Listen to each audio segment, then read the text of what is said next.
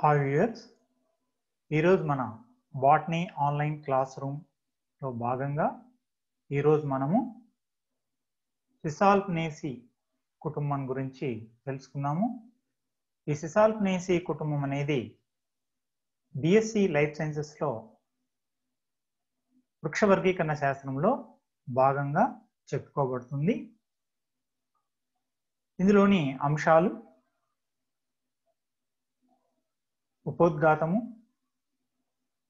వర్గీకరణ శాఖీయ లక్షణాలు పుష్ప లక్షణాలు ఆర్థిక ప్రాముఖ్యత. ఈ యొక్క ఉపోద్ఘాతం విషయానికి వచ్చినట్లయితే బెంతామ్ మరియు హుకర్లు అదేవిధంగా ఏపీజీ త్రీ వర్గీకరణ ప్రకారము సిసాల్ప్నేసి కుటుంబాన్ని ఉపకుటుంబంగా మార్చి అంటే సిసాల్పినే సిసాల్పినాయిడే అనే ఉపకుటుంబంగా మార్చి దాన్ని ఫ్యాబేసి అనే కుటుంబంలో చేర్చడం జరిగింది. ఫ్యాబేసి లేక లెగ్యుమినేసి అనే కుటుంబంలో చేర్చడం జరిగింది అనమాట అయితే హచిన్సన్ స్టెబిన్స్ డాల్గ్రీన్ మొదలగు శాస్త్రవేత్తల వర్గీకరణ ప్రకారము సిసాల్క్నేసి ని కుటుంబంగా ఉంచడం జరిగింది. అదేవిధంగా లెగ్యుమినేలిస్ అనే క్రమంలో ఈ సిసాల్క్నేసి అనే కుటుంబాన్ని చేర్చడం జరిగింది. సో ఇండియాలో ప్రస్తుతము దీన్ని కుటుంబంగానే స్థానం కల్పించడం జరిగింది సిసాల్క్నేసి. సో బెంతామ్ మరియు హుకర్ల వర్గీకరణ ప్రకారము ఈ సిసాల్క్నేసి అనే కుటుంబంలో నాలుగు వందల ఎనభై రెండు ప్రజాతులు మరియు ఏడు వేల రెండు వందల జాతులు కలవు. దీని యొక్క పరిణామ క్రమాన్ని కనుక పరిశీలించినట్లయితే బెంతాముకర్లు చెప్పిన ప్రకారము లెగ్యుమినేసి అనే కుటుంబంలో ఫ్యాబ్ ఫ్యాబేసి దీన్నే వాళ్ళు లెగ్యుమినేసి కుటుంబంలో ఫ్యాబేసీని పాపిలోనాయిడే అనే ఉపకుటుంబంగా చేర్చడం జరిగింది. సిసాల్పినేస్ని సిసాల్పినాయిడే అనే ఉపకుటుంబంగా చేర్చడం జరిగింది. మైమోజేసిని మైమోజాయిడే అనే ఉపకుటుంబంగా చేర్చడం జరిగింది అనమాట దీనిలో ఈ బెంతాముఖర్లు పాపిలియోనాయిడే అనే ఉపకుటుంబం అనేది దానికంటే కూడా సిసాల్పినాయిడే అనే ఉపకుటుంబము పరిణతి చెందిందిగా భావించారు. సిసాల్పినాయిడే కంటే కూడా మైమోజాయిడే అనేది బాగా పరిణతి చెందిన కుటుంబంగా భావించారు అనమాట కాబట్టి వాళ్ళు మొట్టమొదటగా ప్యాపిలియోనాయిడే అనే ఉపకుటుంబాన్ని తర్వాత సిసాల్పినాయిడేని తర్వాత మైమోజాయిడే అనే కుటుంబాన్ని ఉపకుటుంబాన్ని చేర్చడం జరిగింది అనమాట అంటే ఈ వరుస ప్రకారం మొట్టమొదట ఉన్నది ఆ చూసినట్లయితే ఇది ప్రిమిటివ్ అనమాట అంటే అంతగా అభివృద్ధి చెందని ఉపకుటుంబము దానికంటే సిసాల్పినాయిడే కొద్దిగా ఎక్కువ పరిణతి చెందింది. దానికంటే మైమోజాయిడే అత్యంత పరిణతి చెందిందిగా బెంతాముకర్లు భావించారనమాట అదేవిధంగా హచిన్సన్ ప్రకారము ఈ సిసాల్పినేసి అనే కుటుంబము చాలా ప్రిమిటివ్ అనమాట అంటే ఆదిమమైనది. అదేవిధంగా క్రాంక్విస్ట్ విషయానికి వచ్చినట్లయితే క్రాంక్విస్ట్ ఫ్యాబేసి కుటుంబాన్ని అత్యంత పరిణతి చెందిందిగా భావించడం జరిగిందనమాట సో ఇప్పుడు మనం చెప్ ప్రస్తుతము టూ థౌజండ్ సిక్స్టీన్లో ప్రతిపాదించిన ఈ ఏపీజీ ఫోర్ వర్గీకరణ ప్రకారం కనుక చూసినట్లయితే వీళ్ళు ఈ యొక్క కుటుంబాన్ని ఫ్యాబేలిస్ అనే ఒక క్రమంలో చేర్చడం అనమాట ఫ్యాబేలిస్ అనే క్రమంలో యూరోసిడ్స్ వన్ అనే సబ్ గ్రూప్లో చూసినట్లయితే దాంట్లో యూ డైకాట్స్ అనే గ్రూప్లో రోజిడ్స్లో దీన్ని ఫ్యాబేలిస్ అనే క్రమాన్ని ఉంచడం జరిగింది అనమాట ఈ ఫ్యాబేలిస్ క్రమంలో ఉన్న కుటుంబం పేరు ఫ్యాబేసి లేక లెగ్యుమినేసి. ఈ ఏపీజీ వర్గీకరణ ప్రకారం ఏపీజీ అంటే యాంజియోస్పమ్ ఫైలోజిని గ్రూప్ అనమాట. ఇది ద లేటెస్ట్ క్లాసిఫికేషన్ అనమాట బాగా ఇప్పుడు అత్యంత అప్డేట్ చేయబడిన వర్గీకరణ ఏంటంటే ఏపీజీ వర్గీకరణ. దాని ప్రకారము క్రమము ఫ్యాబేలిస్ అందులో కుటుంబము ఫ్యాబేసి దీనికి మరొక పేరు లెగ్యుమినేసి అందులో ఉండే ఉపకుటుంబాల పేర్లు ఇది చూసినట్లయితే ఉపకుటుంబాలుగా ఈ ఫ్యాబాయిడే లేక పాపిలియోనాయిడే నెక్స్ట్ సిసాల్పినాయిడే తర్వాత మైమోజాయిడే అనే ఉపకుటుంబాలని చేర్చడం జరిగింది అనమాట సో దీని యొక్క లక్షణాలని ముఖ్య లక్షణాలను కనుక గమనించినట్లయితే పత్రాలు సమపిచ్చకము అదేవిధంగా పుష్పాలు పాక్షిక సౌష్ఠవ యుతము. ఆకర్షణ పత్రాలు ఐదు. అవి ఆరోహక చిక్కైన పుష్పరచనని చూపిస్తాయి. ఇవి అసమానంగా ఉంటాయి. ఆకర్షణ పత్రాలలో బేసి ఆకర్షణ పత్రము చాలా చిన్నదిగా ఉండి భిన్న వర్ణంలో ఉంటుంది.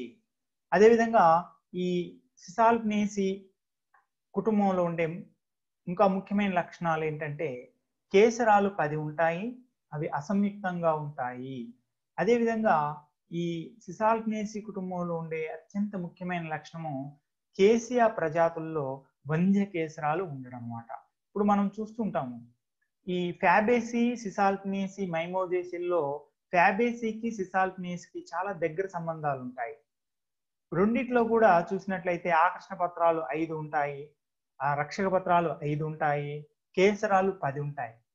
కానీ ఫ్యాబేసి కుటుంబంలో చూసినట్లయితే పది కేసరాలు ద్విబంధక కేసరాలుగా ఉంటాయి. అంటే నైన్ ప్లస్ వన్ అమెరికాలో ఉంటాయి. కానీ సిసాల్పినేస్లో ఉండే పది కేసరాలు విడిగా ఉంటాయి. అంటే దీన్ని ఏమంటాం అంటే అసంయుక్తము అంటాం అదేవిధంగా ఫ్యాబేసి కుటుంబంలో చూసినట్లయితే ఆకర్షణ పత్రాలు ఇవి ఆ దీంట్లో అవరోహక చిక్కైన పుష్పరచన అనేది ఉంటుంది. ఫ్యాబేసి కుటుంబంలో అవరోహక చిక్కైన పుష్పరచన అనేది ఉంటుంది. కానీ ఇప్పుడు మనం చెప్పుకుంటున్న సిసాల్పినేసి కుటుంబంలో ఆరోహక చిక్కైన పుష్పరచన ఉంటుంది. అందులో ఫ్యాబేసిలో అవరోహక చిక్కైన సిసాల్పినేసిలో ఆరోహక చిక్కైన పుష్పరచన ఉండడం అనేది చాలా ముఖ్యమైన భేదాలు అనమాట అదేవిధంగా ఇందులో ఫ్యాబేసీలో బేసి ఆకర్షణ పత్రము చాలా పెద్దదిగా ఉంటుంది. మిగతా వాటితో పోలిస్తే దాన్ని ధ్వజపత్రం అంటారు. ఫ్యాబేసీలో ఉండే ఆకర్షణ పత్రాలని ప్యాపియోనేషియస్ ఆకర్షణ పత్రావళి అంటారు. కాబట్టి ఇవి బాగా గుర్తుంచుకోదగిన అంశాలు. అదేవిధంగా విధంగా కుటుంబంలో బేసి ఆకర్షణ పత్రము చిన్నదిగా ఉంటుంది. ఫ్యాబేసీలో బేసి ఆకర్షణ పత్రం మిగతా నాలుగిటితో పోలిస్తే పెద్దదిగా ఉంటే దానికి భిన్నంగా విరుద్ధంగా ఆ సిసాల్పినేసి కుటుంబంలో చూసినట్లయితే బేసి ఆకర్షణ పత్రము మిగతా నాలుగు ఆకర్షణ పత్రాల కంటే చిన్నదిగా ఉంటుంది. ఇది మనం గుర్తుంచుకోవాల్సిన అంశం అనమాట అదేవిధంగా ఫ్యాబేసీలో కేసరాలు పది ఉంటాయి సిసాల్పినేస్లో కూడా కేసరాలు పది ఉంటాయి. కానీ ఫ్యాబేసీలో ద్విబంధక కేసరాలు ఉండడం అనేది ముఖ్యమైన గుర్తింపు లక్షణము. సిసాల్పినేస్లో చూసినట్లయితే కేసరాలు పది కూడా విడిగా ఉంటాయి అంటే వాటిని అసంయుక్తము అంటాం. అది గుర్తుంచుకోవాలి. అదేవిధంగా సిసాల్పినేసిలో చూసినట్లయితే కేసియా ప్రజాతులలో కేసియా ప్రజాతిలో వంధ్య కేసరాలు ఉండడము చాలా ముఖ్యమైన అంశము. అదేవిధంగా ఇందులో సిసాల్పినేసి కుటుంబంలో ఉండే ముఖ్య అంశాలు ఏంటంటే అండకోశము ఏకఫలదలయుతము అదేవిధంగా ఏకబిలయుతము ఉపాంత అండన్యాసాన్ని చూపిస్తాయి. కాబట్టి ఇవన్నీ కూడా సిసాల్పినేసి కుటుంబంలో చెప్పుకోదగిన అత్యంత ముఖ్యమైన లక్షణాలు. అంటే పత్రాలు సమపిచ్చకముగా ఉంటాయి. సమపిచ్చకంగా అంటే ఇది ఒక సంయుక్త పత్రం అనమాట పత్రాలు సమపిచ్చకంగా ఉండడము అదేవిధంగా పుష్పాలు పాక్షిక సౌష్ఠవీతము ఉండడము అదేవిధంగా ఆకర్షణ పత్రాలు ఐదు ఆరోహక చిక్కైన పుష్పరచన అసమానము బేసి ఆకర్షణ పత్రము చిన్నదిగా భిన్న వర్ణంలో ఉండడము కేసరాలు పది అసంయుక్తము కేసియాలో వంధ్య కేసరాలు ఉండడము అదేవిధంగా అండకోశము ఏకఫలదలయితము ఉపాంత అండన్యాసాన్ని చూపడము ఇందులో ఈ కుటుంబం సంబంధించిన ముఖ్యమైన అంశాలు. అదేవిధంగా దీని యొక్క వర్గీకరణ గమనించినట్లయితే తరగతి ద్విదళ బీజాలు ఉపతరగతి పాలీపెటాలే శ్రేణి క్యాలిసిఫ్లోరే క్రమము రోజేలీస్. దీని యొక్క గుర్తింపు లక్షణాలను గమనించినట్లయితే దీంట్లో జాలాకార ఈనెల వ్యాపనము ఉంటుంది. అదేవిధంగా తల్లి వేరి వ్యవస్థ ఉండడం అనేది ముఖ్యమైన లక్షణాలు. దీని ఆధారంగా దీని యొక్క తరగతి ద్విదల బీజాలుగా చెప్పుకుంటాం అనమాట ఎందుకంటే ఆ దీంట్లో కనుక సమాంతర ఈనెల వ్యాపనం ఉన్నట్లయితే దాని తరగతి ఏకదళ బీజాలు సమాంతర ఈనెల వ్యాపనము మరియు ఆ దాంట్లో పీ పీచు వేరు వ్యవస్థ లేకపోతే అబ్బురపు వేరు వ్యవస్థ ఉన్నట్లయితే అది ఏకదళ బీజాలు. కానీ ఇక్కడ జాలాకార ఈనెల వ్యాపనము తల్లి వేరు వ్యవస్థ ఉండడం వల్ల దీని యొక్క తరగతి ద్విదళ బీజాలుగా చెప్పుకుంటాము. అదే విధంగా ద్విపరిపత్రయుతము అంటే ఇందులో పుష్పాలలో చూసినట్లయితే పరిపత్రాలు. పరిపత్రాలు అంటే ఏంటి? రక్షక పత్రాలు ఆకర్షక పత్రాలు అనేవి ఉంటాయి. వాటిని పరిపత్రాలు అంటారు. ఇవి రెండు వలయాల్లో ఉంటాయి. మొదటి వలయాన్ని రక్షక పత్రావళి అంటాము. రెండవ వలయాన్ని ఆకర్షక పత్రావళి అంటామన్నమాట కాబట్టి వీటిని ద్విపరిపత్రయుతము అంటారు. అదే విధంగా ఆకర్షణ పత్రాలు ఇందులో ఉండే ఆకర్షణ పత్రాలు విడిగా ఉంటాయి. వాటిని ఏమంటారు? అసంయుక్తం అంటారు. ఈ లక్షణాల ఆధారంగా దీని యొక్క ఉపతరగతి గమనించినట్లయితే పాలిపెటాలే. దీని యొక్క ఉపతరగతి పాలి పెట్టాలి. ఎందుకంటే ఇందులో రక్ష ఆకర్ష పత్రాలు సంయుక్తంగా ఉన్నట్లయితే ఉపతరగతి గ్యామో పెట్టాలి. కానీ ఆకర్షణ పత్రాలు విడిగా అసంయుక్తంగా ఉండడం వల్ల దీని యొక్క ఉపతరగతి పాలి పెట్టాలి. నెక్స్ట్ దీని యొక్క మరొక లక్షణము పర్యండ కోశ పుష్పాలు ఉండనమాట పర్యండ కోశ పుష్పాలు అంటే ఏంటి? అండకోశము యొక్క స్థానం ఆధారంగా పుష్పాలని మూడు భాగాలుగా మూడు రకాలుగా వర్గీకరణ చేశారు. అండకోశాధస్థిత పుష్పాలు పర్యండ కోశ పుష్పాలు అదేవిధంగా అండకోశోపరిస్థిత పుష్పాలు. ఈ ఫ్యాబేసి కుటుంబంలో మరియు సాల్నేసి కుటుంబంలో మైమోదేసి కుటుంబంలో మూడిట్లో కూడా ఎలాంటి పుష్పాలు ఉంటాయంటే పర్యండ కోశ పుష్పాలు ఉంటాయి. కాబట్టి సిసాల్ఫినేసి కుటుంబంలో పర్యండ కోశ పుష్పాలు ఉండడం వల్ల దీని యొక్క శ్రేణి క్యాలిసిఫ్లోరే. అదేవిధంగా నెక్స్ట్ మనము దీని యొక్క రక్షక పత్రాలు ఎలా ఉంటాయి? రక్షక పత్రాలు సంయుక్తంగా ఉంటాయి. ఆ లక్షణం ఆధారంగా దీని యొక్క క్రమము రోజేలిస్గా చెప్పబడుతుంది అనమాట కాబట్టి ఈ గుర్తింపు లక్షణాల ఆధారంగా ఈ సిసాల్పినేసి కుటుంబాన్ని తరగతి ద్విదళ బీజాలుగా ఉపతరగతి పాలిపెటాలేగా శ్రేణి క్యాలిసిఫ్లోరేగా క్రమాన్ని రోజేలిస్గా చెప్పడం జరుగుతుంది అనమాట సో నెక్స్ట్ ఈ ఇందులో ఉండే ముఖ్యమైన మొక్కలు ఏమిటి అని చూసినట్లయితే టామరిండస్ మనం ఎక్కువగా దీన్ని గమనిస్తుంటా ఉంటాం. చింత చెట్టు అంటారు కదా టామరిండస్ ఇండికా. అదేవిధంగా మన రాష్ట్ర పుష్పం ఏంటి అంటే కేసియా ఆరిక్యులేటా దీన్నే తంగేడు అని అంటారు అనమాట ఈ కేసియా ఆరిక్యులేటా ఈ సిసాల్పనేసి కుటుంబానికి చెందినదే.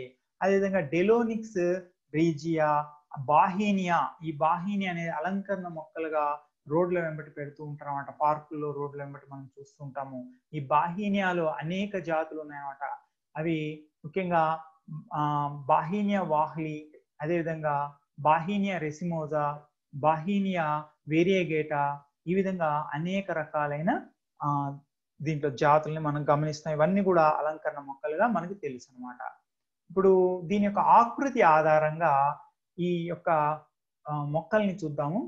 ఏకవార్షిక గుల్మము కేసియా ఆరిక్యులేటా అనేది మనం ఇంతకుముందు చెప్పుకున్నాము. ఇది ఏకవార్షిక గుల్ము ఏకవార్షిక పొద కేసియా ఆక్సిడెంటాలిస్ అదేవిధంగా దారియుత ఎగబాకే పొద బాహినియా బాహ్లీ. అదేవిధంగా దీంట్లో ఉండే వృక్షాలను గమనించినట్లయితే సరాక ఇండిక దీన్ని అశోక వృక్షము అంటారు. అంటే మనము దీనికి ఎంతో ఆదిమమైనది అనమాట సరాక ఇండిక. మనకి తెలుసు రామాయణంలో సుందరకాండలో సీతాదేవి అశోక వృక్షం కింద ఉంది అన్నమాట. ఈ సరాక ఇండిక అంటే అశోక వృక్షము. చాలా మంది పాలియాలియా లాంగిపోలియా అని అశోకగా పొరపడుతుంటారు కానీ అసలైన అశోక వృక్షము ఈ విధంగా ఉంటుంది. ఇది సరాక ఇండిక అదేవిధంగా టామరిండస్ ఇంతకుముందు చెప్పుకున్నట్లుగా ఇది కూడా ఒక వృక్షము. చింతమాను వృక్షము. అదేవిధంగా హార్డ్వికియా బైనేటా. ఇది కూడా దీన్ని ఏపి చెట్టు అని అంటారు అనమాట ఏపి చెట్టు. ఇది కలపకి బాగా ఉపయోగపడుతుంది. హార్డ్ వికియా బైనేటా అంటారు అనమాట సో అదే విధంగా దీని యొక్క శాఖీయ లక్షణాలను గమనించినట్లయితే శాఖీయ లక్షణాలు వేరు తల్లి వేరు వ్యవస్థ ఉంటుంది. అదే విధంగా దీని యొక్క కాండము వాయుగతము గుల్మాకారము కేసియాలో గుల్మాకారంగా ఉంటాయి. చేవదీరిన కాండాలు మనకి బాహీనియాలో హార్డ్వికియా లాంటి వృక్షాలలో టామరిండస్లో ఇవి కనిపిస్తూ ఉంటాయి అన్నమాట పత్రాల విషయానికి వచ్చినట్లయితే పత్రాలు కాండ సంబంధంగా ఉంటాయి పుచ్చ సహితంగా ఉంటాయి. అదేవిధంగా తల్పం వంటి పత్రపీఠం. ఇక్కడ మీరు చూస్తుంటారు పత్రం యొక్క కింది భాగాన్ని ఏమంటారంటే పత్రపీఠం. ఎక్కడైతే పత్రము కాండాన్ని అంటి పెట్టుకుంటుందో ఆ అంటి పెట్టుకునే భాగాన్ని పత్రపీఠం అని అంటారు అన్నమాట ఇది ఎలా ఉంటుంది అంటే ఉబ్బి ఉంటుంది. కాబట్టి దీన్ని తల్పం వంటి పత్రపీఠం అంటారు. ఈ విధంగా ఉండడం అనేది సిసాల్ఫినేసి కుటుంబం యొక్క ముఖ్య లక్షణం. ఫ్యాబీసీ మరియు మన మైమోజేసీలో కూడా ఈ లక్షణాన్ని మనం గమనిస్తాము. అదేవిధంగా ఈ పత్ర పుచ్చాలు ఉంటాయి. ఈ పత్ర పుచ్చాలు లేత దశలో ఉంటాయి తర్వాత రాలిపోతూ ఉంటాయి అన్నమాట అయితే డెలోనిక్స్ రీజియాలో ఇవి పత్రాకారంగా ఉంటాయి. అదేవిధంగా కేసియా ఆరిక్యులేటియాలో ఇవి చెవి ఆకారంలో అంటే కర్ణం ఆకారంలో ఉంటాయి. అందుకోసం దీన్ని కేసియా ఆరిక్యులేట్ ఆరిక్యుల్ అంటే చెవి అన్నమాట. చెవి ఆకారంలో పత్రపుచ్చాలు ఉంటాయి కేసి ఆరిక్యులేటాలు అదేవిధంగా పార్కిన్సోనియా అనే మొక్కలో ఇవి ఇది ఒక ఎడారి మొక్క లక్షణాలు చూపిస్తుంది. దీంట్లో పత్రపుచ్చాలు కంటకాలుగా రూపాంతరం చెందుతాయి. అదేవిధంగా ఏకపక్షవత్ సంయుక్త పత్రాలు కేసియాలో ఉంటాయి. ద్విపక్ష సం పక్షవత్ సంయుక్త పత్రాలు డెలోనిక్స్ రీజియాలో మనము గమనిస్తాం. ఇక్కడ మనం చూస్తున్నాం అన్నమాట ఇది కేసియా టోరా అంటారు. దీంట్లో పత్రము సంయుక్త పత్రము. పత్ర విన్యాస అక్షం మీద అనేక పత్రాలు అమరి ఉంటాయి వీటిని ఏమంటారంటే ఏకపక్షవత్ సంయుక్త పత్రాలు అంటారు. మనం డెలోనిక్స్ రీజియాలో ఇప్పుడు చూస్తున్నాము. దీంట్లో ప్రాథమిక పత్ర విన్యాసాక్షం నుంచి మళ్ళీ ద్వితీయ విన్యాసాక్షాలు ఏర్పడి దాని మీద అనేక పత్రకాలు అమరి ఉంటాయి ఉండడం వల్ల దీన్ని ఏమంటారంటే ద్విపక్షవత్ సంయుక్త పత్రము అని అంటారనమాట అదే విధంగా మనము బాహీనియా జాతుల్లో కనుక చాలా రకాల ఇంతకుముందు చెప్పుకున్నట్లుగా బాహీనియా జాతులు చాలా ఉన్నాయి. ఇది బాహీనియా వేరియగేటా ఇది బాహీనియా రెసిమోజా. సో అదే విధంగా ఇది ఇది కూడా బాహీనియా జాతి. ఇదేమో కేసియా రాక్స్బర్గై అంటారన్నమాట. ఇది సిసాల్పీనియా అల్చెర్మా అని అంటారన్నమాట. సో ఇవి అన్ని కూడా చూసినట్లయితే వీటిలో బాహీనియా జాతుల్లో పత్రాలు అనేవి రెండుగా చీలిపోయి కనిపిస్తూ ఉంటాయి అన్నమాట అదేవిధంగా మనకి కేసీఆర్ ఆక్స్బర్గైలో మనకి పత్రాలు అనేవి ద్విపక్షవత్ సంయుక్త పత్రాలు కనిపిస్తాయి. అదేవిధంగా ఆ మనకి సిసాల్పినియా పల్చెరిమా ఇది కూడా ఒక అలంకరణ మొక్క. ఇవన్నీ కూడా అలంకరణ మొక్కలు. ఇందులో కూడా ద్విపక్షవత్ సంయుక్త పత్రాలు మనకి కనిపిస్తాయి అన్నమాట నెక్స్ట్ పుష్ప విన్యాసము పుష్ప లక్షణాల్లో మొదటగా మనం చెప్పుకునేది పుష్ప విన్యాసము. ఈ పుష్ప విన్యాసంలో మనకి కేశియా ఆరిక్యులేటాలో సమసికి పుష్ప విన్యాసం కనిపిస్తూ ఉంటుంది. అదేవిధంగా కేసియా ఫిస్టులా దీన్నే రేల చెట్టు అని కూడా అంటారు అనమాట కేసియా ఆరిక్యులేట్ అంటే తంగేడు ఇది మన రాష్ట్ర పుష్పము. అదేవిధంగా కేసియా ఫిస్టులా దీన్నే రేల చెట్టు అని అంటారు. ఇది సామాన్య మధ్యాభిసారి పుష్ప విన్యాసం లేకపోతే సామాన్య అనిశ్చిత పుష్ప విన్యాసం అని కూడా అంటారు అనమాట సో ఇవి పుష్ప లక్షణాలు. నెక్స్ట్ మనకి పుష్ప లక్షణాల్లో రక్షక పత్రాలు చూసినట్లయితే ఈ ఈ కుటుంబానికి చెందిన మొక్కల రక్షక పత్రాలు ఐదు ఉంటాయి. రక్షక పత్రావళిలో. అదేవిధంగా ఈ ఐదు రక్షక పత్రాలు అసంయుక్తం అంటే విడిగా ఉంటాయి. బేసి రక్షక పత్రము పూర్వాంతంలో అమరి ఉంటుంది. అదేవిధంగా బాహీనియా జాతుల్లో చూసినట్లయితే రక్షక పత్రాలు ఐదు కూడా కలిసిపోయి ఉంటాయి అంటే సంయుక్తంగా ఉంటాయి. అదేవిధంగా సరాకాలో చూసినట్లయితే రక్షక పత్రాలు సాధారణంగా ఆకుపచ్చగా ఉండాలి. కానీ సరాక అంటే అశోక చెట్టులో మనకి ఈ రక్షక పత్రాలు రూపాంతరం చెంది ఆకర్షణ పత్రాల లాగా రంగురంగులుగా ఆకర్షణీయంగా కనిపిస్తాయి అనమాట అందులో ఆకర్షణ పత్రాలు లోపిస్తాయి సరాకాలు. కాబట్టి రక్షక పత్రాలే ఆకర్షణీయంగా రూపాంతరం అదే టామరిండస్ అంటే చింత చెట్టులో చూసినట్లయితే అదేవిధంగా సరాక అదేవిధంగా మనము అశోక చెట్టులో కనుక చూసినట్లయితే రక్షక పత్రాలు మూడే ఉంటాయి. మిగతా వాటిలో ఐదు ఉంటాయి. నెక్స్ట్ ఈ కుటుంబం సంబంధించిన ఆకర్షణ పత్రాలు చూసినట్లయితే ఇక్కడ మనకు డెలోనిక్స్ రీజియాలో చాలా స్పష్టంగా కనిపిస్తుంది. ఈ ఐదు మనకి ఈ ఐదు కూడా ఆకర్షక పత్రాలు. ఈ ఐదు ఆకర్షక పత్రాలు ఎలా ఉన్నాయంటే అసంయుక్తంగా ఉన్నాయి అంటే విడిగా ఉన్నాయి కలిసిపోయి లేవు. అదేవిధంగా కింద నకసరితము అంటారన్నమాట. అంటే కింద ఈ గోర్ల మాదిరిగా పొడవుగా సాగి ఉన్న ఈ ఆక్షపత్రాలు ఉంటాయి ఉండడం వల్ల వీటిని నకసరితము అంటారు. అదేవిధంగా దీనిలో ఆకర్షణ పత్రాలు ఆరోహక చిక్కైన పుష్పరచనని చూపిస్తాయి. ఆకర్షణ పత్రాలు అసమానంగా ఉంటాయి. మనకు తెలుసు ఇక్కడ బేసి ఆకర్షక పత్రాన్ని చూడండి. ఇది పరాంత భాగంలో ఉంది బేసి ఆకర్షక పత్రము ఇది మిగతా నాలుగుతో పోలిస్తే చిన్నదిగా ఉంటుంది ప్లస్ ఇది ఆ, రంగు కూడా వేరుగా ఉంటుంది అనమాట కాబట్టి దీన్ని ఏమంటారంటే పాక్షిక సౌష్ఠవితం అంటారు. ఈ పుష్పం అనేది పాక్షిక సౌష్ఠవితం పుష్పంగా మనం చెప్పుకోవడానికి కారణం ఏంటంటే ఇందులో ఉండే ఆకర్షణ పత్రాలు అసమానంగా ఉండడం బేసి ఆకర్షక పత్రము చిన్నదిగా మరియు వేరు వర్ణంలో వేరే రకమైన వర్ణంలో ఉండడం అనేది ఇందులో ముఖ్య లక్షణము. అదేవిధంగా టామరిండస్ చింతలో చూసినట్లయితే ఆకర్షణ పత్రాలు ఐదింటిలో కింది భాగంలో ఉండే రెండు పొలుసాకులుగా మారతాయి. అదేవిధంగా హార్డ్ వికియా మరియు సరాక అంటే అశోక చెట్లు హార్డ్వికి అంటే ఇది ఏపి చెట్టు అని అంటారు సరాక అంటే అశోక చెట్టు. దీంట్లో ఆకర్షణ పత్రాలు అనేవి క్షీణించిపోయి ఉంటాయి ఉండవు అనమాట ఆకర్షణ పత్రాలు ఉండవు. సో ఇది ఆకర్షణ పత్రాల యొక్క లక్షణాలు. నెక్స్ట్ మనము కేసరావళి. ఈ సిసాల్పినేసి కుటుంబంలో కేసరావళి చాలా ప్రత్యేకతను కలిగి ఉంటుందన్నమాట.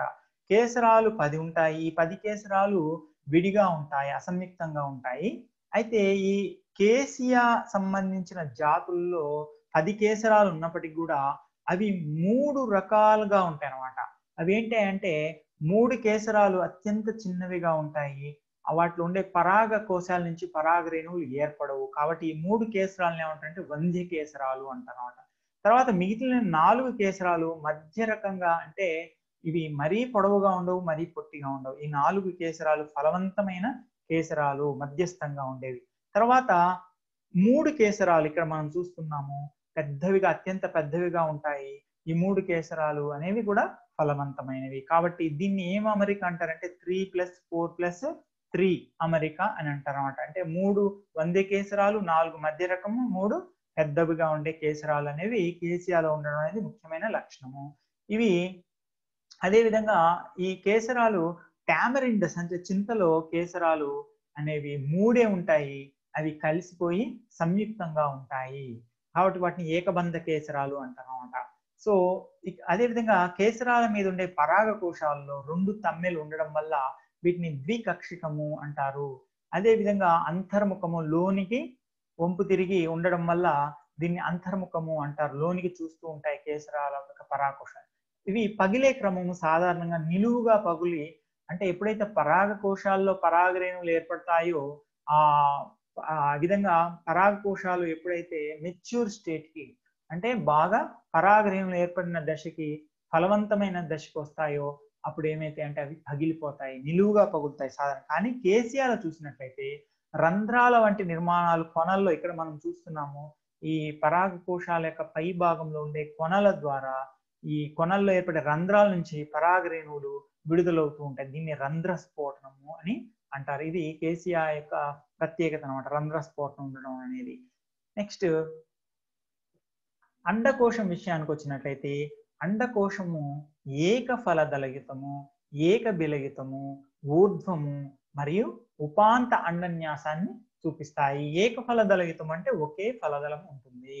దీంట్లో అండకోశంలో ఒకే బిలం ఉంటుంది అండాశయంలో. అదేవిధంగా ఊర్ధ్వంగా అమరి ఉంటుంది అండకోశము. ఉపాంత అండన్యాసము ఊర్ధ్వంగా కానీ దీన్ని అర్ధ నిమ్నము అర్ధ ఊర్ధ్వం అని కూడా చెప్తూ ఉంటారు అన్నమాట రకరకాలుగా. ఉపాంత అండన్యాసము అంటే ఈ అండాశయంలో ఉండే అండాలు ఒక అంచు వెంబటి అతుక్కొని ఉంటాయి. ఉపాంతం వైపు అంటుకొని ఉంటాయి. కాబట్టి దీన్ని ఉపాంత అండన్యాసం అని అంటారనమాట సో ఇప్పుడు మనము ఈ యొక్క డయాగ్రమ్ని చూద్దాము. ఈ కేసియా ఫిస్టులా ఏ విధంగా ఉంటుంది అనేది ఇప్పుడు మనం చూద్దాము. ఇది నా పేరుతో కాపీరైట్ చేయబడింది ఈ డయాగ్రామ్ అనేది. సో ఇక్కడ ఈ చిరు కొమ్మ లేక చిన్న కొమ్మని గమనించినట్లయితే మనం చూస్తున్నాం కేసియా ఫిస్టులా అంటే రేల చెట్టులో ఉండే పత్రాలు సంయుక్త పత్రాలు చూస్తున్నాము. కింద పత్రపీఠము ఉబ్బి ఉంది తల్పం వంటి పత్రపీఠము. ఇందులో పత్ర విన్యాస అక్షము ప్రాథమిక పత్ర విన్యాస అక్షము అని కూడా అనొచ్చు. దీని మీద పత్రాలు వీటిని పత్రకాలు అంటారు. పత్రకాలు అనేవి అమరి ఉన్నాయి. దీన్ని ఏమంటారంటే సమ పిచ్చకము అంటే ఇవి ప్యారి పిన్నెట్ అంటే ఇవి రెండు రెండుగా జతలుగా జంటలుగా అమరి ఉన్నాయి. కొనలో కూడా జంటలు మనం చూస్తున్నాం. కాబట్టి దీన్ని సమపిచ్చకము అంటారు. అదే వేప లాంటి వాటిలో కొనలో ఒకటే పత్రకం ఉండడం వల్ల దాన్ని విషమ పిచ్చకం అంటాం. కానీ ఇది సమ పిచ్చకము ఏకపక్షవత్తు సమపిచ్చక పత్రకము అంటారు. అదే విధంగా దీని యొక్క పుష్ప విన్యాసాన్ని మనం ఇప్పుడు చూస్తున్న. పిండ్యులార్ అంటారు అంటే లోలకం మాదిరిగా రేల లేక కేసీఆర్ ఫిస్టులాలో పుష్ప విన్యాసం అనేది కిందికి లోలకం మాదిరిగా పెండులం మాదిరిగా కిందికి వేలాడుతూ ఉండడం అనేది చాలా ప్రత్యేకతను కలిగి ఇవి చాలా అందంగా కనిపిస్తాయి అన్నమాట అదే విధంగా ఇందులో ఉండే పుష్ప విన్యాసాన్ని మనం గమనిస్తున్నాము. సామాన్య మధ్యాభిసార పుష్ప విన్యాసం అంటే ఏంటి ఇందులో? పుష్ప విన్యాస అక్షం మీద పుష్పాలు అనేవి లేక పుష్పకాలు అనేవి అవి ఎలా అమలు ఉన్నాయంటే మధ్యాభిసార క్రమంలో లేక దీన్ని అగ్రాభిసార క్రమంలో అంటే పైనుండే పుష్ప విన్యాస అక్షము కొనలో మొగ్గలు ఉంటాయి. కింది భాగంలో పుష్పాలు పెద్దవిగా ఉంటాయి అన్నమాట ఇది దీని యొక్క చిరుకొమ్మ ద్వారా మనకు తెలుస్తున్నాడు. అదేవిధంగా పుష్పం యొక్క నిలువు కోతని గమనించినట్లయితే ఇక్కడ మనకి తొడిమె వంటి కాడ వంటి భాగాన్ని పుష్ప వృంతము అంటారు. దీని మీద పుష్ప పుష్పాసనము మీద రక్షక పత్రాలు ఆకుపచ్చ రంగులో రక్షక పత్రాలు అదేవిధంగా పసుపు రంగులో ఉండే ఆకర్షక పత్రాలు మనకు కనిపిస్తున్నాయి. ఇది నిలువు కోత కాబట్టి మనకు మూడు ఆకర్షక పత్రాలను మనం చూస్తున్నాము. అదేవిధంగా కేసరాలు మనం ఇంతకుముందు చెప్పుకున్నట్లుగా ఇక్కడ కింది భాగంలో మూడు చిన్నవిగా ఉండే వంద్య కేసరాలు అదేవిధంగా పైన నాలుగు ఆ మధ్య రకంగా ఉండే కేసరాలు ఇంకా పై భాగంలో మూడు ఆ ఫలవంతమైన కేసరాలను మనం చూస్తూ ఉంటాం అన్నమాట. ఇది నిలువు కోత కాబట్టి మనం ఈ విధంగా గమనిస్తూ ఉంటాము అదేవిధంగా ఇది అండకోశము. దీంట్లో అండాలు ఉపాంత అన్యాసంలో ఉండడం మనం గమనిస్తున్నాం అనమాట అండకోశంలో అండాలు. నెక్స్ట్ ఇది కేసరాన్ని గమనించినట్లయితే ఒక్కొక్క కేసరాన్ని కేసర దండము అది పరాగ కోశం ద్వికక్షికము రెండు తమ్మెలు ఉన్నాయి ఇది సంయోజకం అనేది ఇక్కడ సూది కొన మాదిరిగా అంటి పెట్టుకొని ఉందన్నమాట సో అదే విధంగా ఈ పరాగ కోశాలు మనం ఇక్కడ చూస్తున్నాం. రకరకాలుగా ఉండే ఆ పరాగ కోశాలని అదేవిధంగా అండాశయం యొక్క అడ్డుకోతలో మనకి అండం అనేది ఉపాంత అండన్యాసంలో ఒక అంచు వైపు అంటి పెట్టుకోవడాన్ని గమనిస్తున్నాము. ఇక్కడ చాలా అత్యంత ముఖ్యమైన అంశము ఈ పుష్ప చిత్రము ఈ పుష్ప చిత్రంలో కింది భాగంలో మనకు కనిపించేది పుష్ప పుచ్చము అంటారు. పుష్ప పుచ్చం ఉండడం వల్ల దీన్ని పుష్ప సంకేతంలో బిఆర్తో సూచిస్తాము. ఇక్కడ లఘు పుష్ప పుచ్చాలు ఉన్నట్లయితే రెండు వైపులా కనిపిస్తాయి. అవి లేకపోవడం వల్ల దీన్ని లఘు పుష్ప పుచ్చ రహితము దీన్ని ఈబిఆర్ఎల్తో సూచించడం జరిగింది. అదేవిధంగా పుష్పము యొక్క సిమ్మెట్రీ సౌష్ఠవాన్ని కనుక గమనించినట్లయితే దీంట్లో ఆకర్షణ పత్రాల్లో బేసి ఆకర్షక పత్రం అనేది చిన్నదిగా ఉండి మిగతా ఆకర్షణ పత్రాలు పెద్దవిగా ఉంటాయి. అసమానంగా ఉండే ఆకర్షణ పత్రాలు ఉండడం వల్ల దీన్ని పాక్షిక సౌష్ఠవితంగా చెప్పడం జరుగుతుంది. కాబట్టి దీన్ని పర్సంటేజ్ గుర్తుతో సూచించడం జరుగుతుంది అనమాట రక్షక పత్రాలు ఎన్ని ఉన్నాయి మనకి? ఐదు రక్షక పత్రాలు కనిపిస్తున్నాయి అనమాట ఈ ఐదు రక్షక పత్రాలు ఉండడం వల్ల దీన్ని కే ఫైవ్తో సూచించడం జరిగింది. అసంయుక్తంగా ఉన్నాయి. అదేవిధంగా ఆకర్షణ పత్రాలు ఎలా ఉన్నాయంటే ఐదు ఉన్నాయి. ఇవి ఎలాంటి అమరికతో ఉన్నాయి? దీని యొక్క పుష్పరచన చూసినట్లయితే ఇది ఆరోహక చిక్కైన పుష్పరచన మనం గమనిస్తున్నాం ఇక్కడ చూసినట్లయితే బయట ఉండే రక్షక పత్రాలు క్విన్ కనిషియల్ పుష్పరచనతో ఉన్నాయి. అంటే రెండు రక్షక పత్రాలు వెలుపల రెండు రక్షక పత్రాలు లోపలి భాగంలో ఉంది ఐదవ రక్షక పత్రం యొక్క ఒక కొన లోపలికి ఒక కొన బయటికి ఉండడం వల్ల ఈ రక్షక పత్రాల యొక్క పుష్పరచనని క్విన్ కనిషియల్ పుష్పరచన అంటారు. ఆకర్ష అదేవిధంగా ఆకర్షణ పత్రాల్లో చూసినట్లయితే బేసి ఆకర్షక పత్రము పై భాగంలో పరాంత భాగము పుష్పానికి కింద ఉండే భాగాన్ని పుష్ప చిత్రంలో కింద ఉండే భాగాన్ని పూర్వాంతము పైనుండే భాగాన్ని పరాంతం అంటారు. ఈ పరాంతం వైపు ఉండే ఆకర్షక పత్రం మిగతా నాలుగిటితో పోలిస్తే చిన్నదిగా ఉంటుంది. అదే విధంగా ఇది లోనికి ఉంటుంది. దీనిని కింద ఉండే పరా దీని యొక్క కింది భాగం అంటే పూర్వాంతంలో ఉండే ఆకర్షక పత్రాలు దీన్ని కప్పి ఉంచుతున్నాయి. ఈ రెండు ఆకర్షక పత్రాలని దాని కింది భాగంలో అంటే పూర్వాంత భాగంలో ఉండే ఆకర్షక పత్రాలు కప్పి ఉంచుతున్నాయి. కాబట్టి దీన్ని ఏమంటారంటే ఆరోహక చిక్కైన పుష్పరచన అంటారు అనమాట అదే విధంగా కేశరాల విషయానికి వచ్చారు కాబట్టి ఇక్కడ ఏం చేశారు? సి ఫైవ్ అంటే ఆకర్షపత్రాలు అసంయుక్తంగా విడిగా ఉన్నాయి ఐదు ఉన్నాయి. నెక్స్ట్ ఆక్షపత్రాల తర్వాత కేసరాల విషయానికి వచ్చినట్లయితే కేసరాలు చూడండి ఇక్కడ మూడు కేసరాలు వంద్య కేసరాలు. ఇంతకుముందు చెప్పుకున్నట్లుగా కేసీఆర్ జాతులలో కేసరాల్లో అత్యంత చిన్నవిగా ఉండేవి పరాగ కోశాల్లో పరాగ రేణువులు ఏర్పడవు కాబట్టి వీటిని వంద్య కేసరాలు. ఇవి మూడు కూడా ఈ విధంగా చుక్కల రూపంలో ఈ విధంగా ఎంటీగా చూపించడం జరుగుతుంది అనమాట వీటిని వంద్య కేసరాలుగా చూస్తాము. తర్వాత నాలుగు కేసరాలు మీడియం సైజ్ అనమాట మధ్య రకంగా ఉంటాయి.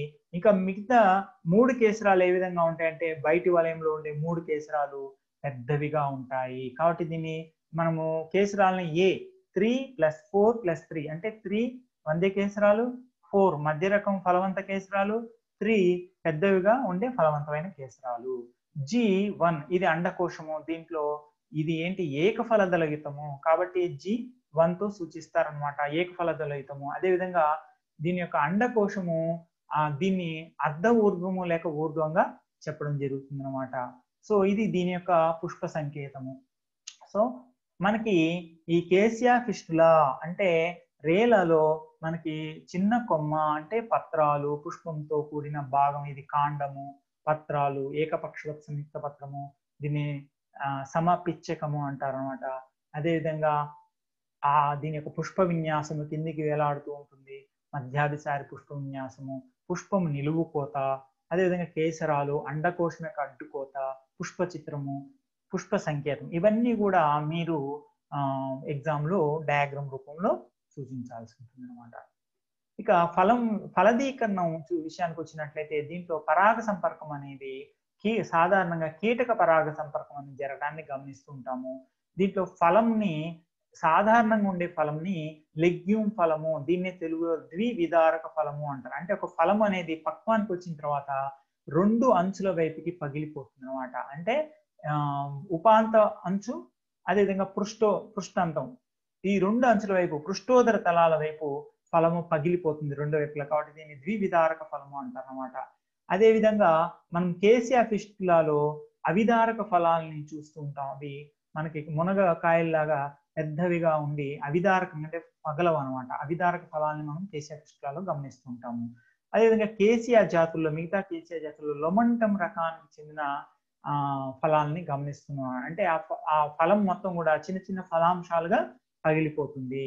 నెక్స్ట్ డెలోనిక్స్ రీజియాలో బల్లపరుపుగా ఉండే ఫలాన్ని మనం గమనిస్తుంటాం అనమాట అదేవిధంగా టామరిండస్ ఇండికస్ చింతలో ఉండే ఫలము అవిదారక ఫలము అంటే అది పక్వానికి వచ్చినా పగిలిపోదు. మనం పగలగొడితేనే పగులుతుంది అవిదారక ఫలం టామరిండస్ చింతలో. ఇదే విధంగా ఈ ఫలంలో ఉండే విత్తనాలను చూసినట్టయితే రెండు ఆ దళాలని ఫలదళాలని కలిగి ఉంటారన్నమాట వీటిని ద్వి దళాలు అంటారన్నమాట రెండు బీజ దళాలని కలిగి ఉంటాయి. ఫలంలో ఉండే విత్తనాల్లో రెండు బీజ దళాలు ఉంటాయి. అదేవిధంగా అంకురచ్చదం లోపిస్తుంది. కాబట్టి దీన్ని అంకురచ్చద రహితము అని అంటారనమాట సో దీనిలో నెక్స్ట్ దీని యొక్క ఆర్థిక ప్రాముఖ్యత విషయానికి వచ్చినట్లయితే ఈ సిసాల్ఫినేసే కుటుంబానికి సంబంధించి ఆర్థిక ప్రాముఖ్యము. చూసినట్లయితే బాహీనియా జాతులు ఇంతకుముందు చెప్పుకున్నట్లుగా బాహీనియా రెసిమోజా బాహీనియా వేరియగేటా ఇలాంటివి జాత్ బాహీనియా పర్పూరియా ఇలాంటివి అలంకరణ మొక్కలుగా మనకి బాగా సుపరిచితం అనమాట రోడ్ల వెంబటి పార్కుల్లో ఉద్యానవనాల్లో పెంచుతూ ఉంటారు. అదేవిధంగా మనకి డెలోనిక్స్ రీజియా ఇది కూడా మనకి తురాయి అంటారు. ఇది కూడా అలంకరణ మొక్కగా మనకి తోడ్పడుతుంది సరాకా ఇండికా సరాకా ఇండికా దీన్ని అశోక చెట్టు అంటారు. ఈ అశోక చెట్టు మనం ఇంతకుముందు చెప్పుకున్నట్టుగా రామాయణంలో మనకి సీతాదేవికి నీడనిచ్చిన మొక్క ఇది. సరాకా ఇండికా అనేది అశోక చెట్టు ఇది కూడా ఉద్యానవనాల్లో పెంచుతూ ఉంటారు. అదేవిధంగా సిసాల్పినియా పల్చెరిమా దీన్ని ఆ చాలా నేషనల్ హైవేస్ ఎంబటి కానీ ఉద్యానవనాల్లో కానీ అందమైన అలంకరణ మొక్కగా దీన్ని వాడుతూ ఉంటారు. అదేవిధంగా కేసియా జాతుల్లో కేసియా ఫిస్టులా దీన్ని కూడా అలంకరణ మొక్కగా వాడుతుంటారు Cassia siamea Cassia alata Cassia ఇలాంటి జాతులన్నీ కూడా అలంకరణ మొక్కలుగా ఉపయోగపడతాయి. నెక్స్ట్ దీనిలో అనేక మొక్కలు ఔషధ మొక్కలుగా ఉపయోగపడతాయి. ఫర్ ఎగ్జాంపుల్ కేసియా ఫిస్టులా అదేవిధంగా కేసియా సెన్నా లేక కేసియా ఇటాలికా అంటారన్నమాట. ఇవి విరోచనకారిగా పనిచేస్తాయి. ఈ ముఖ్యంగా కేసియా ఇటాలికా దీన్నే నేల తంగేడు అని కూడా అంటారు అనమాట కేసియా ఇటాలికాని నేల తంగేడు అంటారు. ఇది మన దేశం నుంచి చాలా ఎక్కువగా ఎక్స్పోర్ట్ అవుతుంది వేరే దేశాలకు. దీన్ని లాక్సేటివ్ అంటారు. అంటే విరోచనకారిగా పనిచేస్తుంది ఇది కేసియా ఫిస్టులా యొక్క బెరడుని కాండం యొక్క బెరడుని చర్మ వ్యాధుల నివారణకు వాడుతుంటారు. అదేవిధంగా కేసీఆర్ ఫిస్టులా యొక్క ఆ పూత ఏదైతే ఉందో ఆ పూతని ఆ అనేక కూరలకు వంటకాలుగా వాడుతూ ఉంటారు. ఫలాలను కూడా వంటకాలుగా వాడడం అనేది మనం గమనిస్తూ ఉంటాం అనమాట కేసియా గ్లాక యొక్క పత్రాలను మరియు బెరడుని డయాబెటీస్ అంటే చక్కెర వ్యాధి నివారణకు వాడుతుంటారు. అదేవిధంగా గనేరియా అనే ఒక వ్యాధి నివారణకు కూడా దీన్ని వాడుతుంటారు అనమాట అదేవిధంగా సిసాల్పీనియా బొండు అంటే గచ్చకాయలు ఈ ఈ గింజలని డయేరియాకి మరియు రుమానిట్స్ అంటే కీళ్ళ నొప్పుల తగ్గింపుకి ఈ గచ్చ గింజల్ని వాడుతూ ఉంటారు. అదేవిధంగా డయేరియా అంటే మోషన్స్ వాంతులు ఉన్నట్టయితే దాన్ని తగ్గించడానికి కూడా ఈ ట్రీట్మెంట్కి దీన్ని వాడుతూ ఉంటారనమాట నెక్స్ట్ మనము ఈ అనేక రకాలైన మనము వంటకాల్లో చింతకాయలు టామరిండస్ని వాడడం మనం గమనిస్తుంటాం అంట చింత అనేది ఈ చిన్ చింత పండుగ చింతపండు అనే పేరుతోటి కమర్షియల్గా చాలా ఇంపార్టెంట్ అన్నమాట. అదేవిధంగా కలపనిచ్చే మొక్కలు ఇందులో ముఖ్యంగా చూసినట్లయితే మనకి హార్డ్ వికియా బైనేటా ఏపి చెట్టు అంటారన్నమాట. ఇది కలపని ఇస్తుంది బాగా కలపని ఇవ్వడంలో ఉపయోగపడుతుంది. అదేవిధంగా బాహీనియ వాహ్లి బాహీనియ వాహ్లి ఆ, అనే మొక్క యొక్క పెద్ద ఆకులని ఆ విస్తరాకుల తయారీకి వాడతారు. వీటిని అడ్డాకులు అని అంటారు అనమాట బాహీనియ వాహ్లి అనేది దారియుతంగా ఉండే లయ్యేని మొక్క ఎగబాకుతూ ఉండే మొక్క ఈ నులితీగల సహాయంతో. దీని యొక్క పత్రాలు పెద్దవిగా రెండుగా చీలి ఉండి ఈ విస్తరాకుల తయారీకి అడ్డాకుగా ఉపయోగపడుతూ ఉంటాయి. అదే విధంగా దీనిలో హెమటోజైలాన్ కంపీచియానం అనే మొక్క యొక్క దారు నుంచి హిమటోజైలాన్ అనే వర్ణద్రవ్యం లభిస్తుంది. ఇది కణంలోని కేంద్రకాలని అభిరంజనం చేయడానికి ఉపయోగపడుతుంది.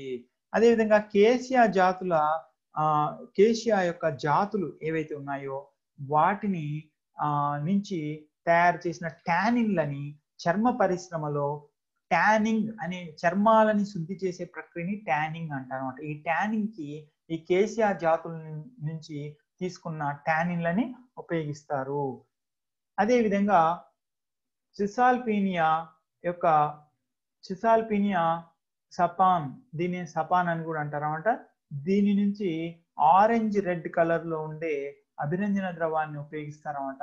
ఈ రంగుని ఆ, అద్దకంలో ఉపయోగిస్తారన్నమాట. అద్దకం అంటే టెక్స్టైల్ ఇండస్ట్రీలో వస్త్ర పరిశ్రమలో వస్త్రాలని అద్దకం చేయడానికి ఈ సిసా సిసాల్పీనియా సాపాన్ యొక్క రంగుని ఉపయోగిస్తారనమాట అదే విధంగా బాహినియా మలబారిక బాహినియా రెసిమోజా బాహినియా పర్పూరియా బాహినియా వాహి సిసాల్పీనియా సెపేరియా మొదలగు మొక్కల నుంచి తీసిన ట్యానిన్లని మనం ఇంతకుముందు చెప్పుకున్నట్టుగా లెదర్ ఇండస్ట్రీ అంటే చర్మ పరిశ్రమలో చర్మాలని శుద్ధి చేసే విధంగా ఉపయోగిస్తారు. దీన్ని ట్యానింగ్ అని అంటారనమాట కాబట్టి ఇవన్నీ కూడా ఈ సిసాల్పినేసి కుటుంబం యొక్క ముఖ్యమైన ప్రధానమైన ఆర్థిక ప్రయోజనాలు. Thank you.